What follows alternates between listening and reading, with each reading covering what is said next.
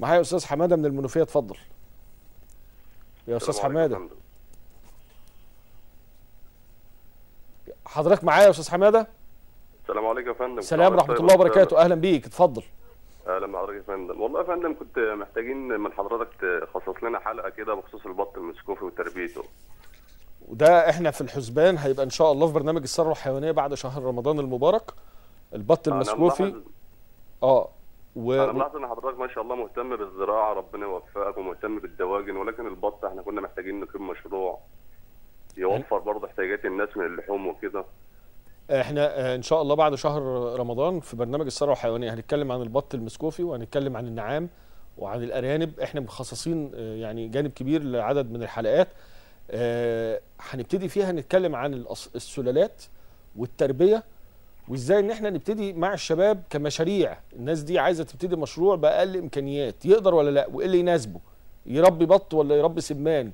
الأرانب بيجيبها منين؟ آه، أنا كنت بكلم الدكتور طارق سليمان من أسبوع قال لي لأ آه، آه، إحنا في اتجاه ل يعني تقنين تربية الدواجن الأرانب من خلال إن أنا أشتغل بسلالات. ما ينفعش التربية العشوائية دي. فإن شاء الله أنا بوعدك هنتابع لك البط المسكوفي. وهنتابع جانب جانب أو عدد كبير من المشاريع المرتبطة بالثروة الحيوانية. والله بنتمنى هذا يا فندم عشان ده المشروع ده أنا سامع إن هو كويس يعني بس أنا حاسس هو مهمل كده من ناحية برضه وزارة الزراعة لأن مفيش توعيات كده لا. بالعكس هو مش مهمل لا هو موجود إرشاد وموجود معهد الإنتاج الحيواني ولكن إحنا هنلقي الضوء عليه أكتر اعلاميا وأنا عملت حلقات من داخل الم- المزارع والعنابر كتير على فكرة. هتلاقيها موجودة على موقع قناة مصر الزراعية على اليوتيوب. لكن إحنا طبعا لازم نكون على تواصل مستمر معاكم. فزي ما وعدتك إن شاء الله بعد شهر رمضان هيبقى برنامج الثروة الحيوانية. هنتابع مع بعض في كل هذه المشاريع. بشكرك. زكريا منين يا زكريا؟ زكريا من مركز زفت يا أستاذ سامي أحسن ناس. اتفضل. الله ربنا يبارك لك. حضرتك أنا كنت ليا مداخلة معاك من 10 أيام.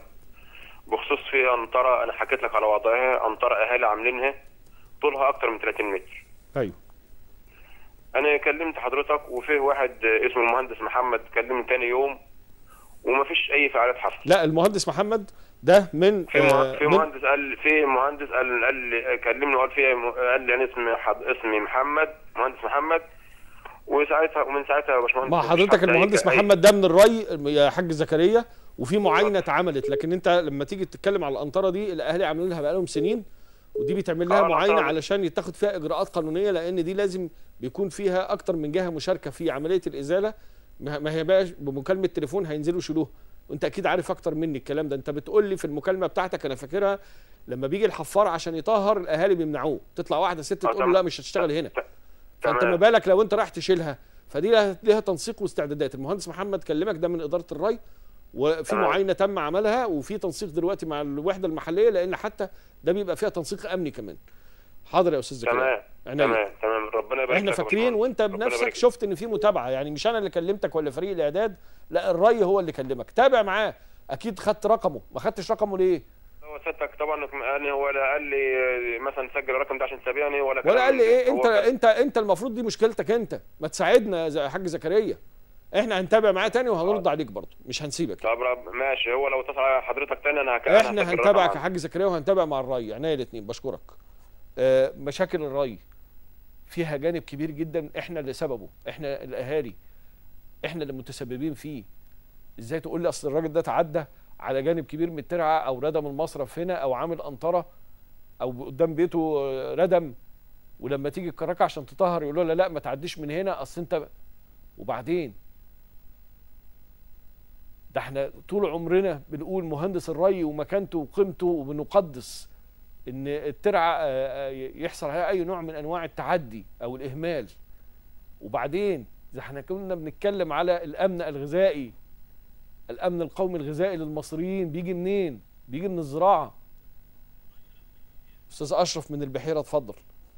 بس سامح ازي يا بيه أهلا بحضرتك يا فندم. كل سنة وأنت طيب. حضرتك بالصحة والسلامة. كنت رحت البنك عندنا اللي هو بنك الزراعة ده وقدمت على مشروع البيتيلو. وعكسوني شوية رحت في دمنهور ورجعت لهم تاني.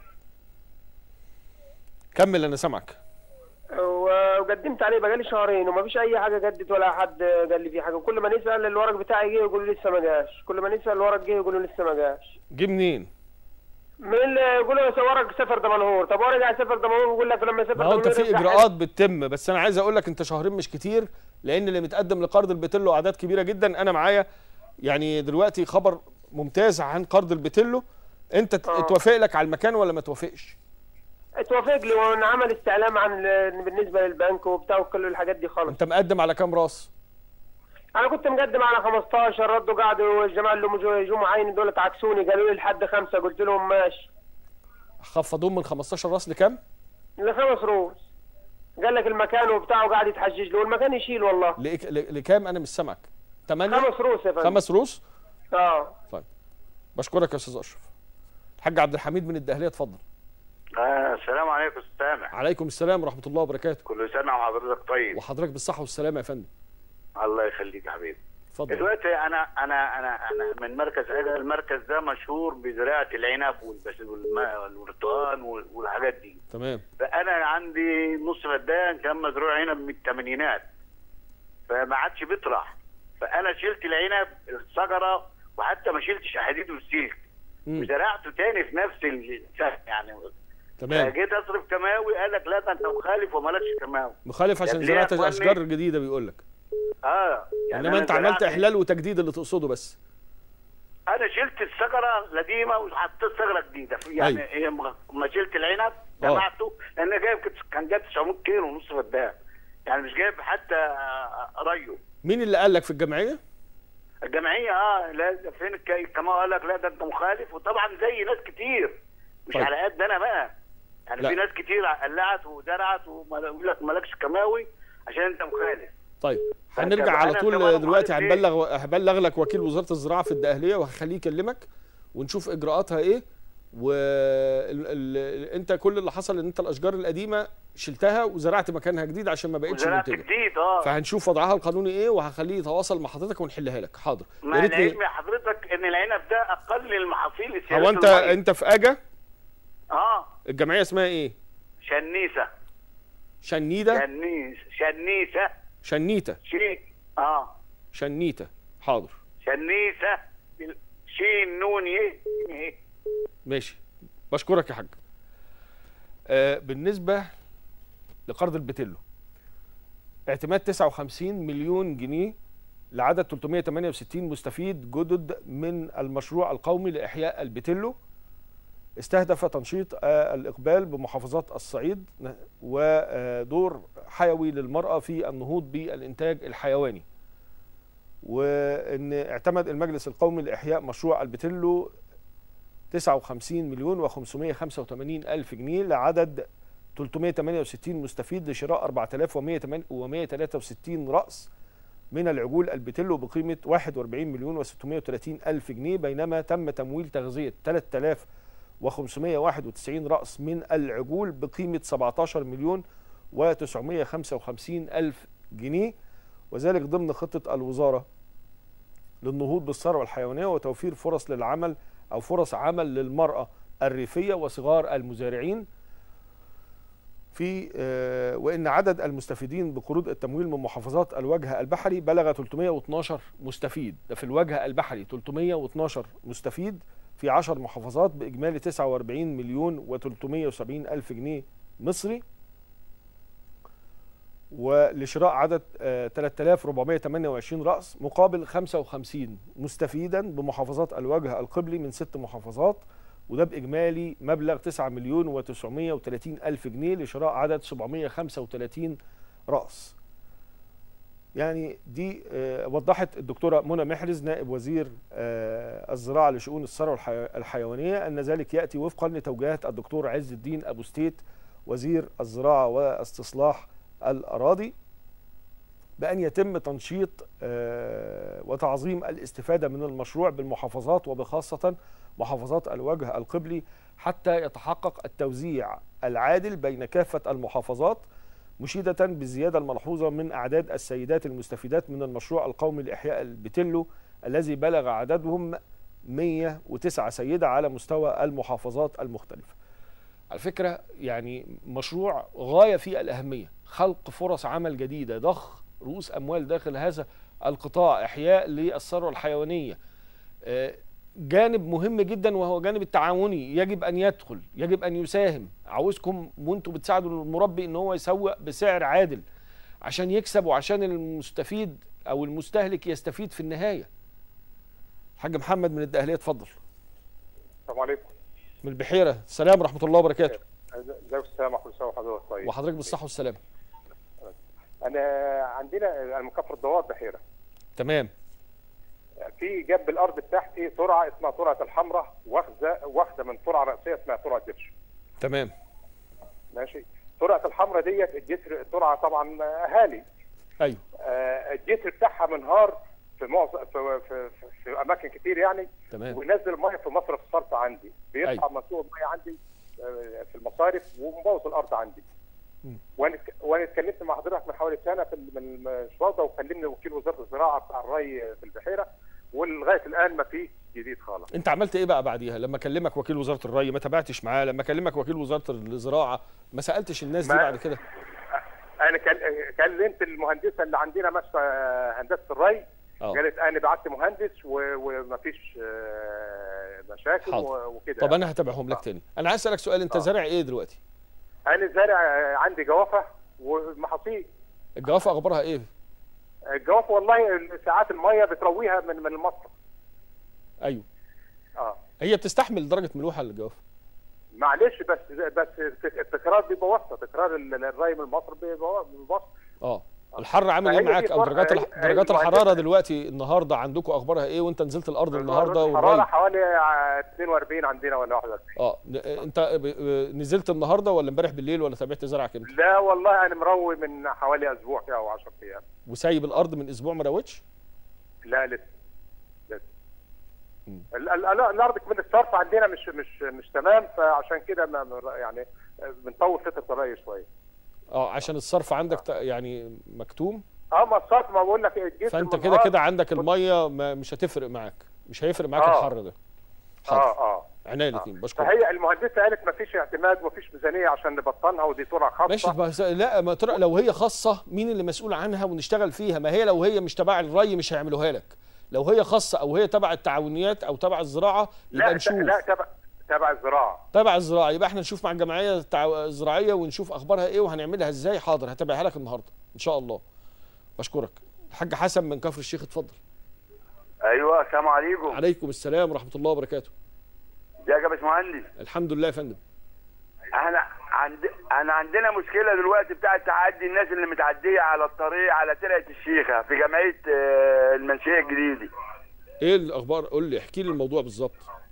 الموضوع زي ما أنا بكلم حضرتك كده تن واحدة واحدة كل مرة يزودوا المروة لما إحنا دلوقتي بنيجي نمشي على الطريق بالعافية. لو ما قابلك أي عربية أي جرار يبقى أنت تخاف الا تقع يا في المروة عند عند المالك يا في يا في الترع ال- في البحر. قول لي المكان بالظبط كده يا حاج حسن.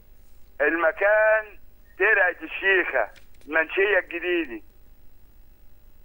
منشية جديدة. ده عند الكيلو كام التعدي ده بقى فيها؟ إحنا إحنا سبعة بسطين بقى يا فندي. حاضر. سيب رقمك بس عشان لو احتاجنا نعرف معلومات تانية. أنا أنا سايب رقمي في الكنترول 012 عينيا حاضر يا حاج. إيه. كل سنة وأنت طيب. يعني تاكيدا للكلام اللي أنا قلته في بداية الحلقة يعني جزء كبير جدا من مشاكل الري إحنا اللي سببه.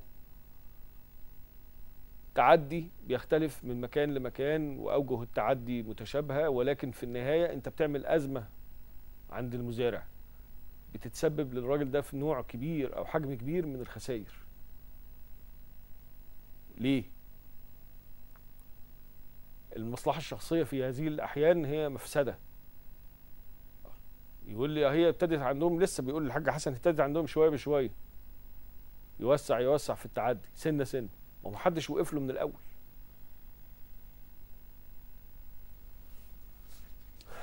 معايا الأستاذة الدكتورة نجوى عبد الهادي أستاذ الإنتاج الحيواني رئيس الجمعية المصرية لمنتجي الأرانب كل عام وحضرتك طيبة يا فندم.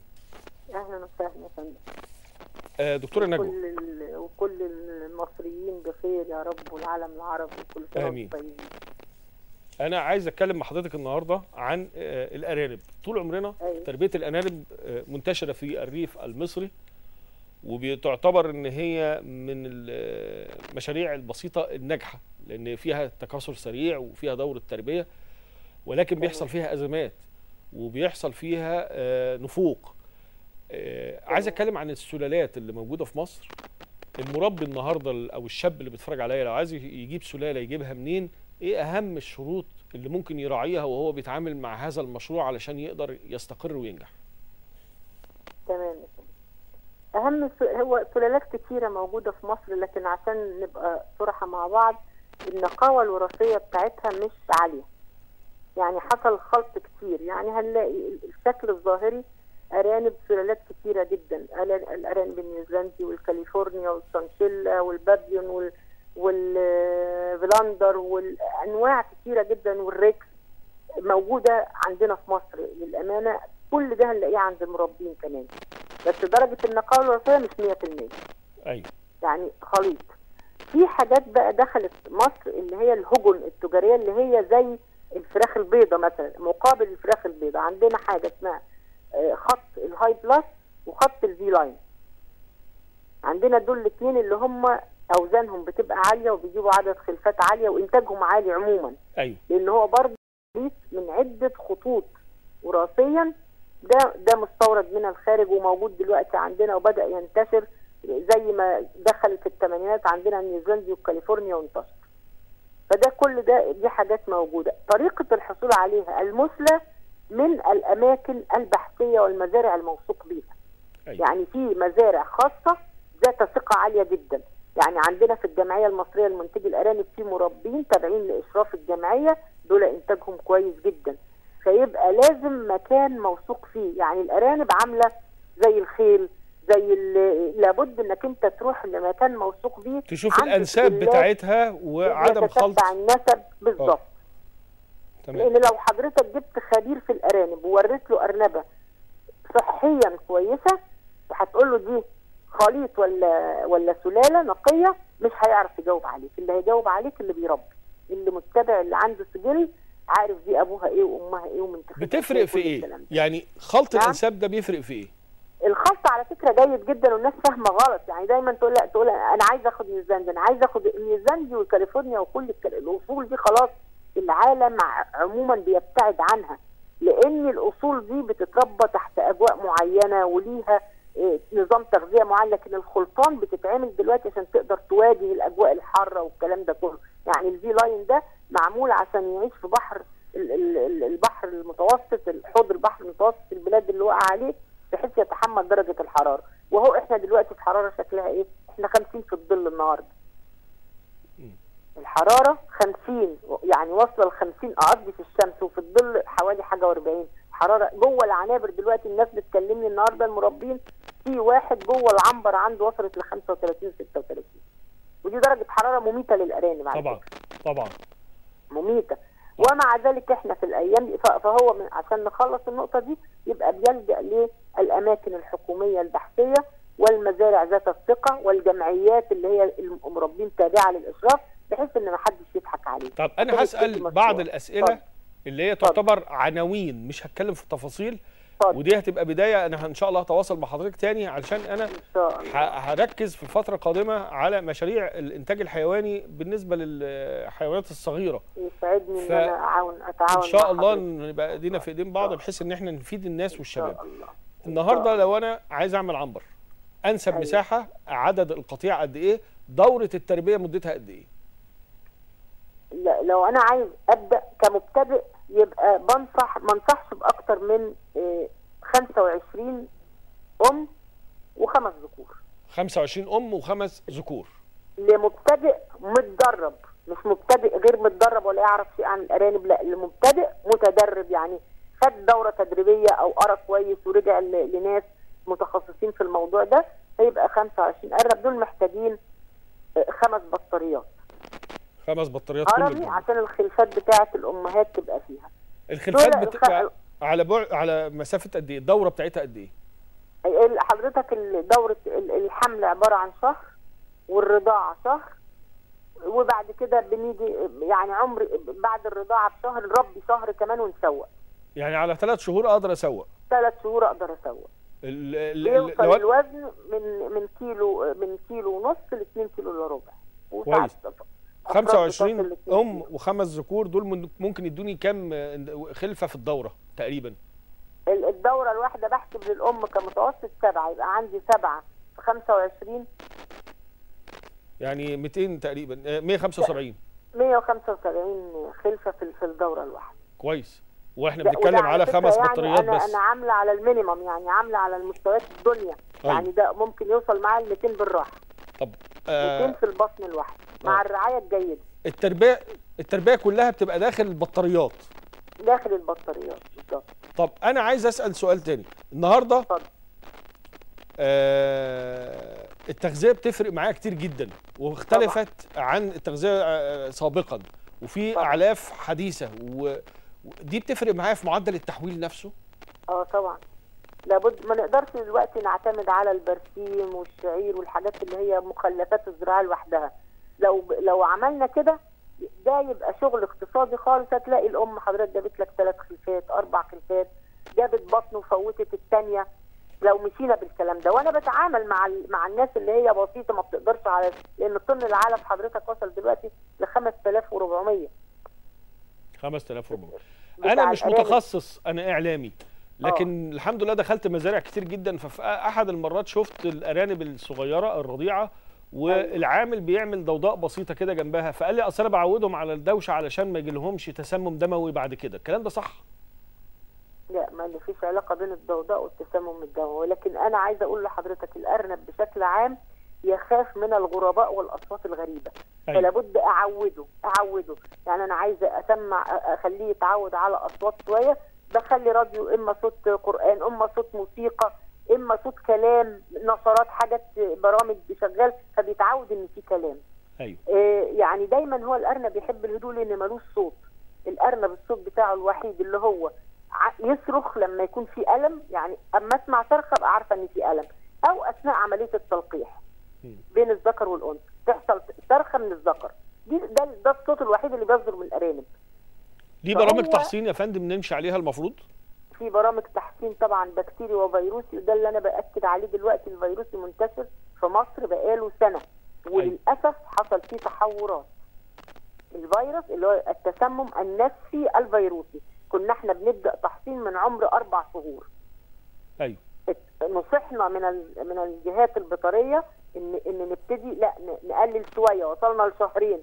من شهر واحد فقط بدأنا نحصن وال وال والخلفات تحت أمها عمرهم 25 يوم نديلهم التحصين ده لأن جه الفيروس تحور وبقى أنا كان في جديدة. م- مربي اتصل بيا قال العم أيوة. ال- القطيع اللي عندي جاله جرب أيوه وقال لي. تنصحني بإيه آه، أعمل إيه الجرب حضرتك في حاجة اسمها ال Ivomec بنحقن بيها وطبعا الجرب ده زي الكبريت في المزارع يعني لابد إن إحنا نلحقه من أوله ونبقى عندنا خبرة إن إحنا نكتشفه بدري نعالجه على طول لو بنحقن Ivomec أو في آه، مرهم في مراهم كتيرة فيها كبريت بن بندهن الأماكن دي وبنغطس في محلول في دايزانون برضو بيعالج الجرب. وطبعا لابد نغسل الأماكن كويس جدا ونعزل ال- ال- المريض لأن المرض بينتشر بصورة جامدة جدا وبسرعة بيخلي الأرنب يخس ويسلسل وما ياكلش هو في أمراض مشتركة ما بين. الإنسان والأرانب؟ لا ما فيش الحاجات دي خالص لأن في ناس تقول لك الجرب دي لا هي بيبقى نوع من الحساسية من شعر الأرانب نفسه لكن الجرب لا ينتقل للإنسان. تمام. بتاع الأرانب. ال- آه، الجمعية المصرية لمنتجي الأرانب آه، بتمنح أو في إقامة للدورات تدريبية لل آه طبعا بنعمل دورات وقوافل و...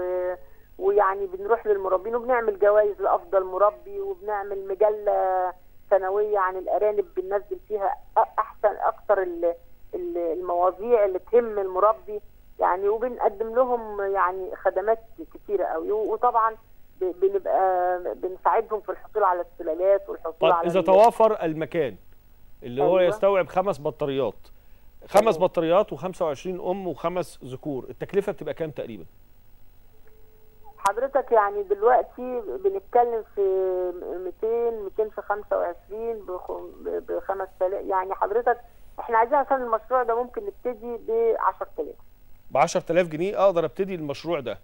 آه. ويبتدي وطبعا يديني المبتدئ الصغير لو بت- لو في ناس بتيجي خلاص خمسة وذكر فقط بطارية واحدة.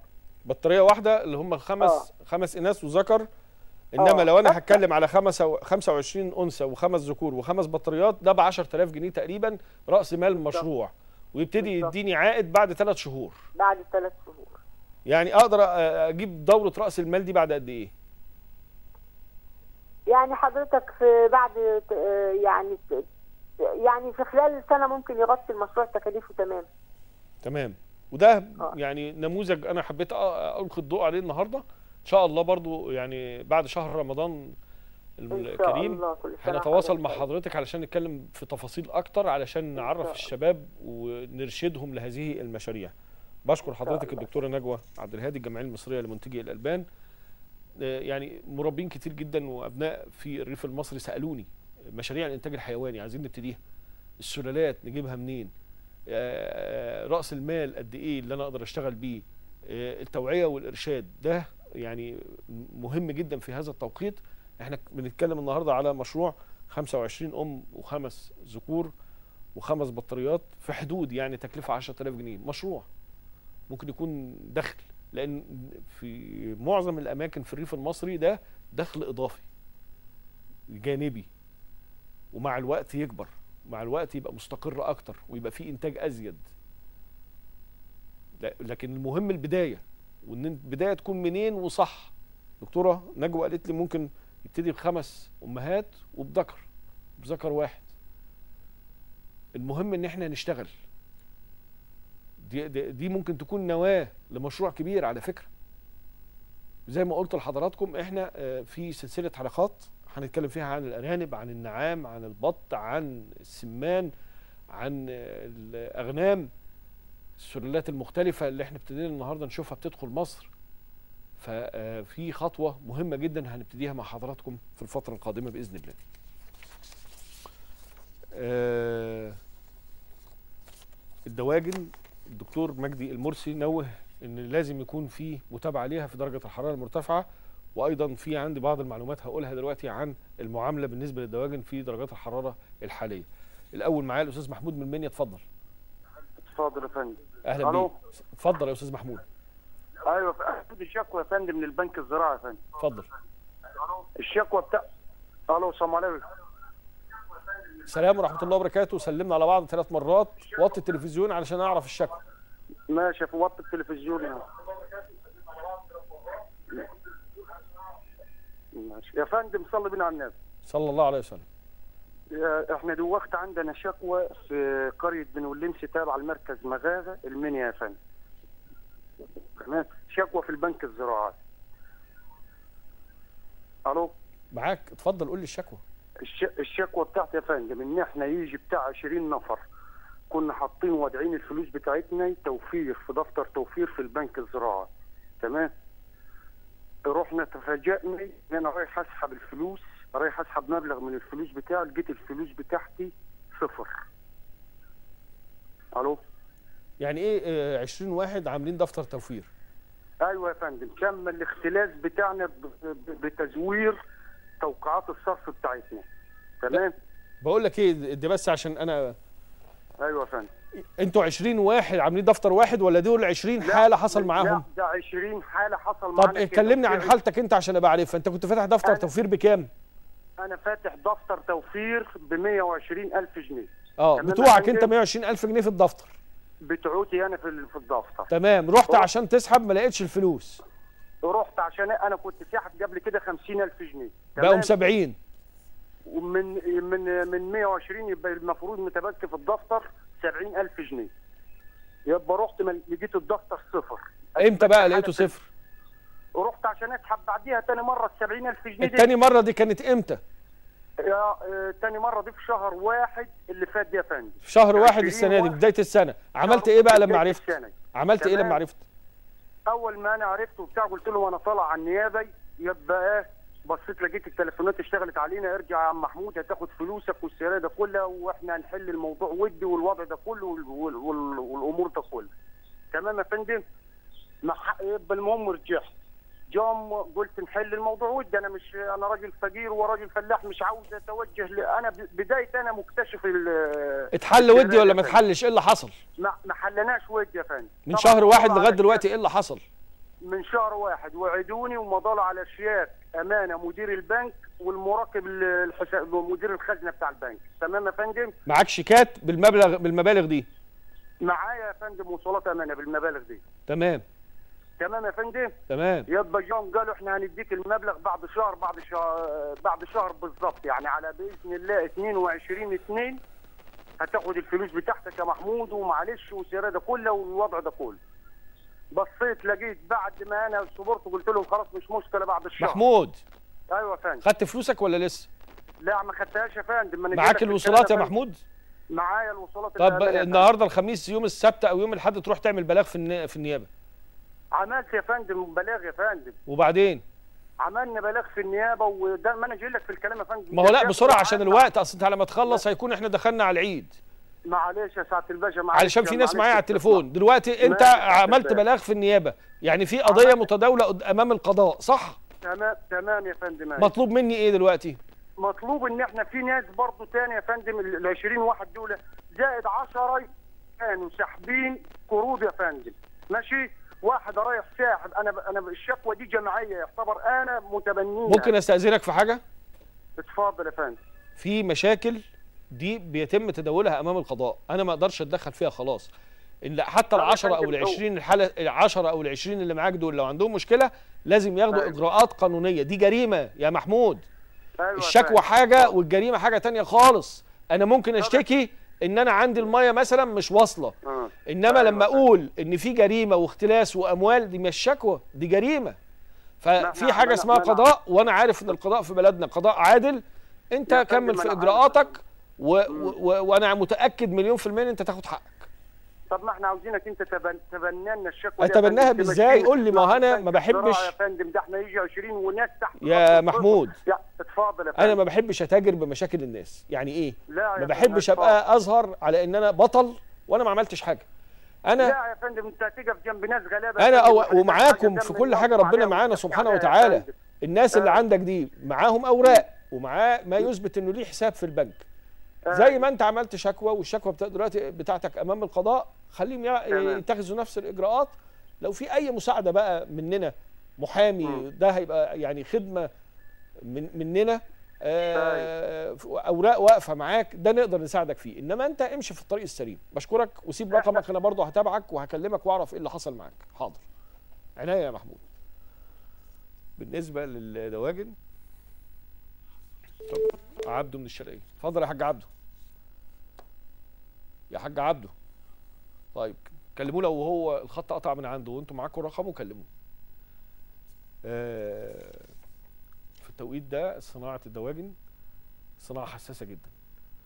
أصدر مركز معلومات تغير المناخ والطاقة المتجددة والنظم الخبيرة بمركز البحوث الزراعية بالتعاون مع المعمل المركزي للمناخ الزراعي بمركز البحوث الزراعية بتكليفات من الدكتور محمد سليمان رئيس مركز البحوث الزراعية نشر توصيات فنية.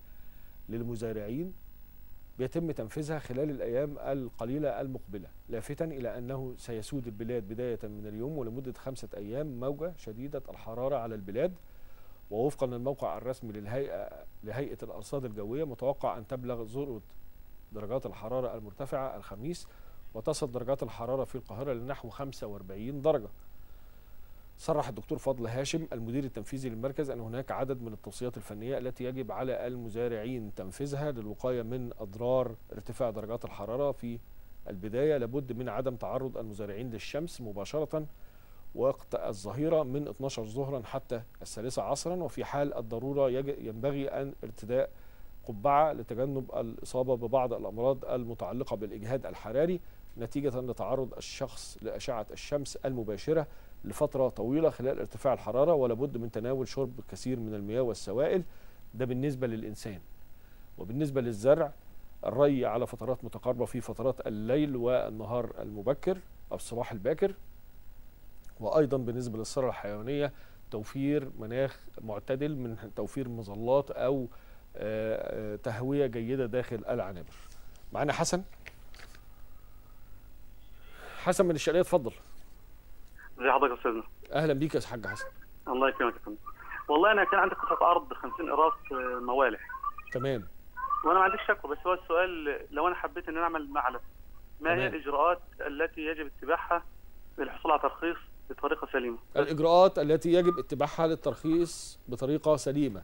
التوجه إلى الإدارة البيطرية أو الإدارة الزراعية لمعرفة قانونية هذا الطلب. لأن أنت لو أرض زراعية هتحولها لمشروع ثروة حيوانية ده ممنوع لأن أنت دي أرضك زراعية. فغير كده ما ترهقش نفسك. شوف ده هينفع عندك في المكان ده ولا لا. في البداية نفع هيبتدوا في الإجراءات بتاعتك يا في الإدارة البيطرية في الإدارة الزراعية يا في إدارة الإنتاج الحيواني. بكرة الصبح. يوم السبت تروح له. إن شاء الله. بش بشكرك. يعني مش عايزين يبقى في خلط لأن إحنا عندنا الأرض الزراعية عايزين نحافظ عليها. نحافظ عليها ليه؟ لأن ده الأمن القومي الغذائي للمصريين. وأنت النهارده شايف الفلاح أكتر واحد التحديات اللي بتواجه القطاع الزراعي. فأنا من باب أولى إن أنا أحافظ على المساحة الزراعية أو الرقعة الزراعية. ما اقللش منها. لا ده أنا أحافظ عليها علشان أزود الإنتاج فيها كمان. أستاذ محمد من اسكندرية اتفضل. السلام عليكم. سلام ورحمة الله وبركاته. إحنا عندنا مشكلة ري يا باشمهندس. مالها؟ فين بس في اسكندرية بالظبط؟ في العمرية. آه. فين في العملية؟ انت عارف أ- يعني وأنا قاعد هنا أنا عارف إن العملية. كبيرة النهضة- جدا. في النهضة تحت شركة البترول في النهضة؟ النهضه آه. تمام. شركة إيه؟ شركة البترول تحت شركة البترول. تمام. إيه المشكلة اللي عندكم؟ المشكلة عندنا الأرض جازة والمية بتغيب عليها وإحنا عندنا حاليا دلوقتي الجو حر وال- والفاصوليا عطشان. ونكلموا مهندس الري ورحنا للإدارة في في النصرية. أيوة. مفيش حد مستنط لنا خالص. هو أنت المناوبة عندك كام يوم أساسا؟ المناوبة 15 يوم بس الأرض ما تقعدش 15 يوم. آه الجو حر دلوقتي وأنتوا بتتكلموا على المية بس هي عشان توصل لك أنت عارف إن في مناوبات وأراضي جنبكم وأراضي بعديكم فإحنا هنكلم وكيل وزارة الري عشان نعرف يعني إيه آه، استعداداتكم للموجة الحارة لأن إحنا في ظروف غير عادية. يعني مش مش ده الع... مش ده الوضع الطبيعي اللي إحنا بننظم عليه المناوبة بتاعتنا لا ال- النهارده في حر أكتر. فالمزارعين الطبيعي عايزين يرووا. الوضع الطبيعي هم حوالي يعني إن ال- النسبة اللي فيها الجزة حوالي حوالي 110 فدان.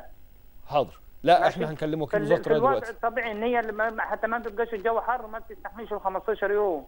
أيوه. ولمينا بعضنا ورحنا لل... ورحنا للمدير ورحنا ل- وكلمنا المهندس ما فيش حد مستند لنا خالص. يعني كده لو لو الوضع استمر لمدة يومين على كده اعتبر الفاصوليا باظت إن شاء الله نلحقكم. بإذن الله إن شاء الله. بشكرك. الحاج عبد العزيز من الغربية اتفضل. وعليكم عليكم السلام ورحمة الله وبركاته. ازيك يا أستاذ الحمد لله. أنا ما اسميش عبد العزيز. أنا اسمي توكل اللي كنت كلمت حضرتك من أسبوعين. وما طيب. برن بقالي أسبوع ما حدش راضي يرد على رقمي عشان البرنامج يعرف رقم حضرتك. طب أنا هقول لك على معلومة يا حاج عبد العزيز. أو حاج توكل. اولا إحنا ما بن ما عندناش إظهار رقم طالب. ده سر بقى. إحنا بناخد منك الرقم. تمام؟ يرد عليا. ممكن ما حدش بيرد وفي ناس كتير في آلاف بتتصل ما بنردش لأن إحنا عندنا ضغط تليفونات مش عشانك أنت شخصيا حضرتك طب ليه حضرتك لما غيرت الرقم دلوقتي آه، حد رد؟ أنا مش ب... مش بكذب عليك. وأنا مش بكذب والله أنا أنا طب أنت. مشكلتك إيه الأول؟ بسرعة بس عشان أنا. مشكلتي أنا مشكلتي يا أستاذ سامح المشكلة اللي بقالها أربع سنين اللي قلت لحضرتك عليها. لو سمحت مشكلتك إيه عشان الوقت بيخلص؟ المشكلة يا أستاذ سامح إن أنا ليا جاري مانعني إن أنا أنزل أرضي رحت عملت محضر واثنين وثلاثه وما فيش أي إجراء رسمي بيتاخد من ال- من طب من- وتفتكر إن أنا. ممكن مشكلة زي دي ما نردش على تليفونك ليها وإحنا طرف فيها يعني يا أستاذ لا يا أستاذ سامح طبعا انت ما انتش طرف فإيه اللي. هيمنعنا إن إحنا نرد عليك؟ ما أنت تتصل مرة واثنين وألف وإحنا بنوصل أنا- رسالتك إحنا مش طرف في المشكلة عشان ما نردش على الرقم عارف عارف والله حضرتك وعارف إن أنت إنسان محترم. وفريق العمل اللي معايا كله ما بيتأخرش عن حد. على فكرة ده اللي بيتصل بينا والخط يقطع إحنا اللي بنكلمه تاني علشان نشوف الراجل ده كان أنا محتاج متابع إيه. أنا متابع حضرتك من أول أنت بينك. وبين جارك مشكلة شخصية وفي دلوقتي محاضر وفي قضايا متداولة في المحاكم. مطلوب أستاذ مني إيه سامح دي مش مشكلة شخصية يا أستاذ سامح مش مشكلة شخصية راجل عايز يشتري أرضي غصب عني وأنا ما ببيعهاش منعني مشكلة شخصية على- توكل وأنا حفظتها. مشكلة شخصية أنت النهارده ما بينك وما بين جارك عداوة ورافعين على بعض قواضي وما- وأنتوا الاثنين بتروحوا المحكمة كل أسبوع تقريبا. مطلوب مني إيه؟ حضرتك حضرتك ما بروحش المحكمة كل أسبوع أنا اللي كان أنا اللي رافع عليه قواضي حضرتك عشان ما أنا عارف ما. في قواضي أنت بتتابعها. أنت لما كلمتني في الموضوع ده أي مشكلة بتجيلنا على فكرة ما بنسيبهاش إلا ما بنفصلها بنفصصها. طب حضرتك أنا أعمل إيه أنا دلوقتي؟ أنا أرضي راويتها مرة واثنين وثلاثة ويصرفها ومانع إن أنا أنزل فيها. طب أعمل إيه؟ أسيب أرض أنت في إجراءات قانونيه؟ وأنت رافع قضية؟ ما أنا بكلمك دلوقتي علشان برضو ما تقولش إن إحنا يعني ما ردناش أو ما بنردش على رقمك. أنت دلوقتي رافع قضية في المحكمة. بتتابعها. بتجيب معاينة من الري بتجيب معاينة من الزراعة بتاخد إجراءاتك القانونية. جبت حضرتك معينه أنا هطلب بس أنا بقى المره دي اللي هي طلب عندك. سريع. مطلوب مني إيه عشان أقوم أعمله دلوقتي؟ مطلوب من حضرتك إن أنت تساعدني في المشكلة إن أنا أحلها أنا بسالك إيه المساعدة نوع المساعدة بس عشان أقدر أعمله يا أستاذ توفيق حضرتك آه، كلم مدير الأمن حضرتك حد وصلني بمدير الأمن أنا بروح عنده في قضية. مدير الأمن لما يكون القضية بتاعتك دي واخدة حكم وبتقول له لو سمحت عايزك تنفذ لي الحكم طب صح؟ حضرتك أنا عايز أقابل رئيس الجمهورية فخامه الرئيس يا فندم قدم طلب على موقع. رئاسة الجمهورية موجود على النت وقدم الطلب ده لأن أنا مش مش جهة الاختصاص برضه بشكرك يا توكل مشاهدي برنامج الزراعي مباشر كل عام وحضراتكم طيبين. شكرا لكم وإلى اللقاء.